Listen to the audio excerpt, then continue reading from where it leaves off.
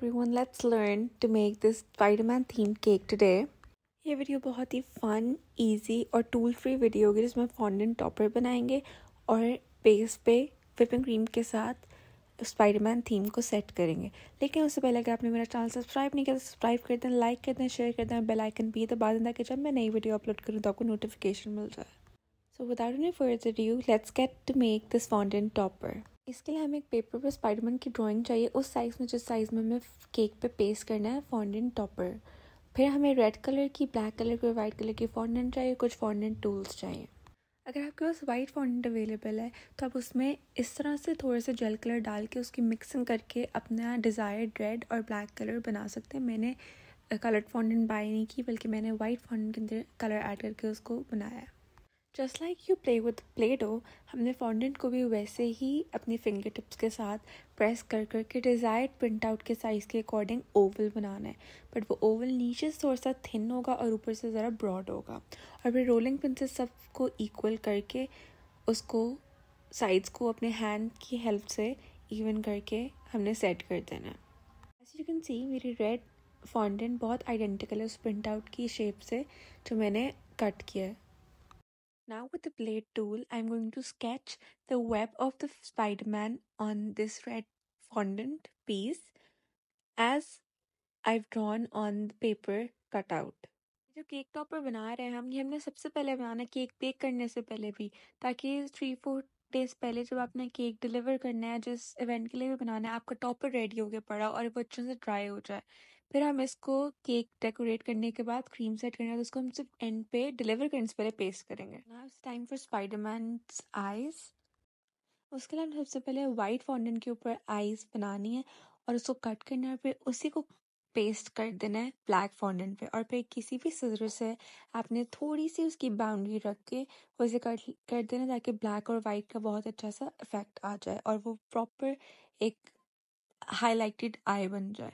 और फिर मैंने उसको सीधे से कट करके अपने फिंगर टिप्स के साथ उसकी एजेस को नीट कर लिया और सेट कर दिया और इस तरह से हमारी आईज रेडी हो गई हैं और आईज को रेडी करके मैं साइड पर रख दूँगी बिकॉज़ आईज फेस करने से पहले मैंने ब्लैक मार्कर से अपने वेब को हाईलाइट भी करना है। मैंने अपने क्लाइंट को इन्फॉर्म कर दिया था कि जो मेरा फाइडमैन टॉपर है वो एडिबल नहीं है क्योंकि मैं फॉन्डेंट की बजाय ब्लैक मार्कर से उसके ऊपर वेब बना रही हूँ और फिर मैंने उसके ऊपर जिस तरह से मैंने प्रिंट आउट पे आईज उसी तरह से सेम डायरेक्शन मैंने आई उस पर पेस्ट कर दी है। ये हमारा स्पाइडरमैन टॉपर रेडी हो गया है। Do let me know the comment section down में लोग आपको ये कैसा लगा। अब हम आते हैं अपने केक के डेकोर की तरफ़। डेकोरेशन प्रोसेस स्टार्ट करने से पहले मैंने अपनी केक को स्टैक करके क्रम कोट करके अच्छी तरह से रेफ्रिजरेट कर लिया जब मेरी क्रम कोटिंग स्टेबल हो गई है, फिर मैंने उसके ऊपर डेकोरेशन प्रोसेस स्टार्ट किया जिसके लिए मैंने पाइपिंग बैग में विपिंग क्रीम डाली है अपनी डिज़ायर्ड ब्लू कलर की। और उसमें फाइनल नीट कोट करूँगी। ये ब्लू कलर मैंने जेल कलर से बनाया और ये मेरा डिज़ायर्ड ब्लू कलर था। अब मैं इससे केक की नीट फिनिश करूँगी और फिर मैं एक बैम्बू स्टिक लेके, कोई भी टूथपिक आप यूज़ करते हैं, कोई भी पॉइंटेड चीज़ लेके, इसके ऊपर स्पाइडरमैन का वेब ट्रेस करूँगी।